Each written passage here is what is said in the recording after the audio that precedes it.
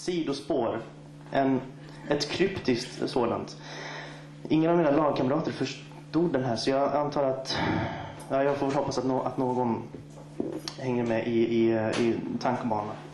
Jag vet inte om jag själv gör det. Men den, den handlar om, om, om eh, förvirring. Komiskt nog. Hoppas äpplet smakar.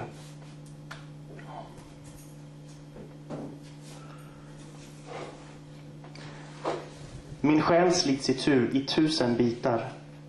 Sluta slita skriker jag förgäves, de rastlösa, de som sliter i mina muskler, förtvinade genom ett passivt leverne.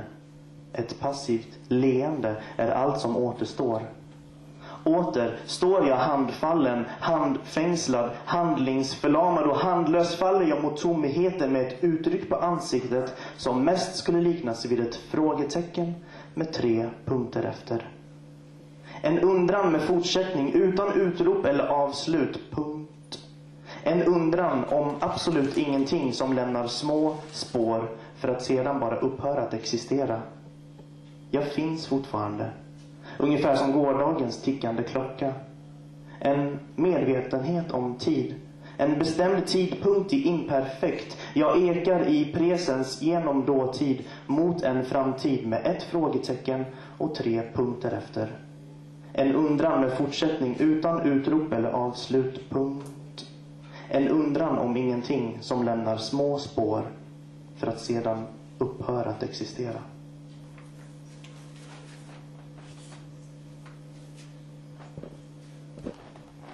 Baksidan av kärleken.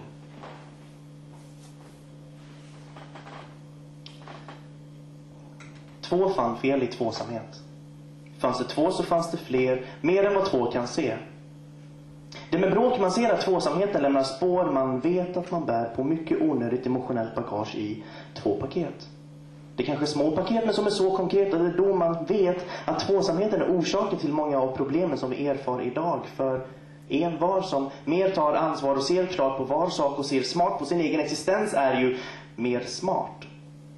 Men det är en smaksak. Tvåsamheten har väckt ett klart hat mot allt partjat som står mig ända upp till hit. Så när två fann fel i tvåsamhet och de två insåg att det inte funkade övergick tvåsamheten till tråksamhet som övergick till bråksamhet som övergick till två paket som jag ställde utanför dörren tills nästa gång jag skulle gå ut för att slänga mina sopor. Vi måste sluta prata om kärlek som om det vore någonting man kan äga. Älska dig själv. Älska din nästa. Älska det bästa i mig. Älska mer.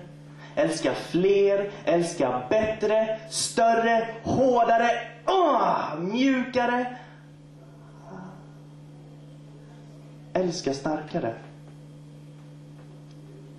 Om du har kärlek så har du sympati. Har du sympati så har du empati. Har du empati så har du förståelse. Har du förståelse så har du respekt. Och har du respekt så har du ödmjukhet. Och har du ödmjukhet så har du kärlek. Och kärlek öppnar många låsta dörrar i dig. I mig. Och i oss alla. Så släpp kärleken fri. Sensuella kärleken. Den sensuella erotiken. Enkelheten. Hon smekte min hand. Med små rörelser lät hon sina fingertoppar gå från min handled till tummen. Snuddade vid fingertoppen och sen sakta ner mot handflatan. Hon tecknade cirklar i min hand. Hon skrev långa kärleksbrev på min varma hud. Hon smekte min hand. Med små sensuella och mjuka rörelser lät hon sina fingrar mötas från mitten av min hand och sen glida ut, upp och åt sidorna. Hennes tumme drogs längs min. Hennes pekfinger drogs längs mitt, våra långfingrar mot varandra. Ring och lillfingret möttes med små, mjuka, lena och sensuella rörelser. Hon smekte min hand. Våra hjärtan möttes när fingrarna gled i sidled och flätades samman till en enhet och värmen mellan våra händer gick som varma vindar genom mig. Hon smekte min hand. Hon smekte min själ. Uh, jag kör en, en, en sista grej. Som är jättelång. Den heter uh, I ett andetag.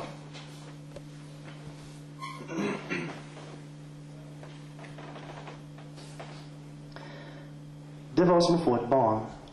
Ett liv som plötsligt uppenbarat sig framför mig. Gestaltat genom den vackraste skapelsen jag aldrig tidigare kunnat föreställa mig. Som om det vore det mest självklara i hela världen och vi satt på toppen av den. Utsikten gav en inblick i våra själar och allt vi hade genomlidit. Som om allt tidigare i livet, allting var en förberedelse inför den här dagen. Jag kunde inte annat än att tro att det var därför vi båda kände oss så tillfreds med hela den här situationen. Jag låg på rygg, på toppen av världen och betraktade de flyktiga molnen. Jag slutade andas. Precis som den gången då jag skildes från min själ och min själ inte ville återvända till kroppen. Den gången fick jag panik för jag trodde livet hade lämnat mig. Den här gången log jag när själen lämnade min kropp för att jag visste att den bara just då inte riktigt fick plats.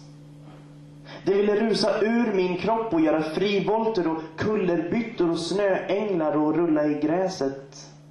Och jag bara log. Min själ återvände den kvällen när jag satte mig upp för att se på henne. Hon låg med ryggen vänd mot mig, men jag fick en skymt av en ängels ansikte när jag satte mig upp.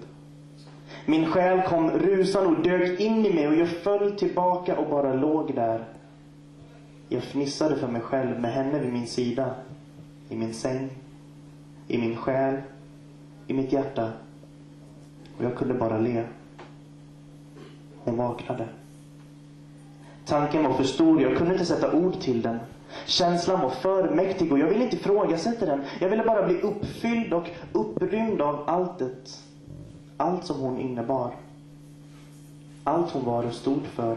Jag ville för en gångs skull bara finnas. Inte göra, inte säga, inte tänka, inte någonting, utan bara finnas. Jag visste att jag älskar henne, men vem vågar säga det till en främmande människa? Jag älskar dig!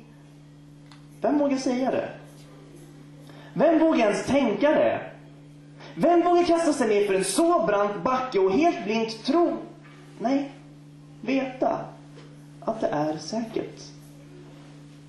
Jag vågade inte säga det, men jag tillät mig själv att tänka det. Och när hon stod där framför mig och skulle lämna mig för första gången efter det där dygnet, så ville jag bara älska henne. Jag ville att hon skulle veta det.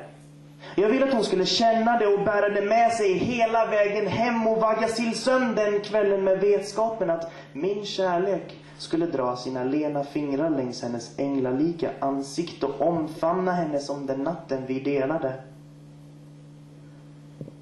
Allt gick så snabbt och allt vi delade kanske kan berättas från början till slut i ett enda andetag. Men jag vill inte släppa andan. För jag vill inte att det ska ta slut. Tack.